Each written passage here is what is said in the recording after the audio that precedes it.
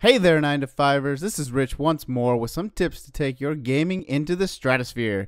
This is the top 5 spoiler free tips for Kerbal Space Program. Spoilers, you say? Isn't this game like NASA, only without the spirit crushing bureaucracy? Well, yes, but it's an experience and you need to start from square one, and I'm here to help you get started without spoiling any of the awesome learning curve. Tip number 5 is to play in the sandbox. Like all kids know, the sandbox is where you have the most fun. So when you are presented with these options to start new, do a training, or scenarios, I recommend going with start new, changing it to sandbox, name it however what player you want, pick your flag, we're going to go with squad, and we're going to say start. Now you have everything available to you and you can just go and have fun. Tip 4 after you enter the vehicle assembly building where all the awesome rocket building happens is to learn the camera controls. Now, before you can start really moving around anything, you need to have a command module in place. I'm going to pick our Mark 1-2 command pod. And now I can start moving the camera around.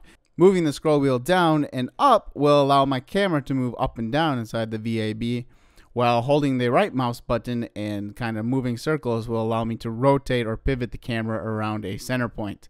If I want to zoom out or zoom in, I'll just hold down shift and then I will use the scroll wheel.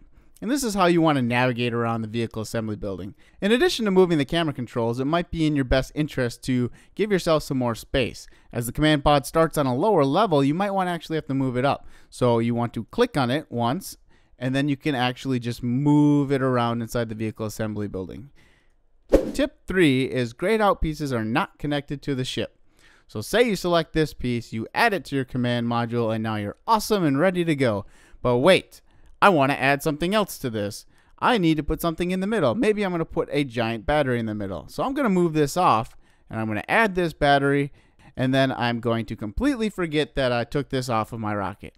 What you will see is that this is grayed out. By being grayed out like this, slightly transparent, it means that it's not actually connected to your rocket. When you go to launch your rocket, it will not be there and you will be less than happy with the results. So remember, make sure they are attached and that they are highlighted green and then they snap to the ship and you should be ready to go. Tip number two is to mine the stages.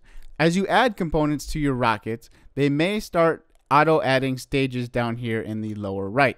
As you can see right now, I have one propulsion or one engine and that stage right there is indicating that when I hit spacebar, and I'll get to this later on, that it will fire, and it will be the only stage that will fire.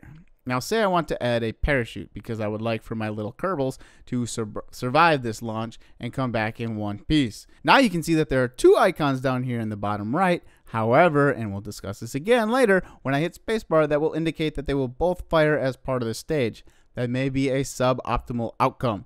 In this case, I can separate them, putting the motor on the first stage and the parachute on the second stage.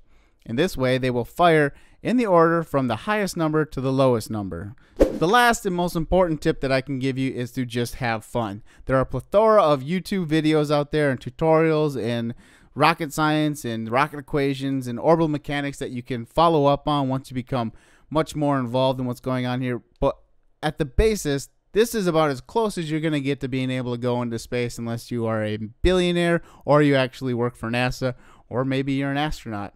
So don't be afraid to just throw rockets on there, put as many engines as you want, as much propulsion as you want, because in the end, it's not your fate that's at risk. It is Jebediah, Bill, Bob, and whatever Kerbals you decide to hire. Thanks for watching. I hope this helped you get started on your Kerbal endeavors. I'm going to leave you with one last bonus tip. The spacebar is how you activate stages once you are on the launch pad. It cares not the state of your rocket, so hitting spacebar will activate the next stage. Be careful or you may end up with some charred Kerbins. Uh, look for future tips where we actually may explain some of the mechanics. As for now, we hope this gets you started without spoiling of any of the awesome explosions that you are sure to encounter. Happy blasting!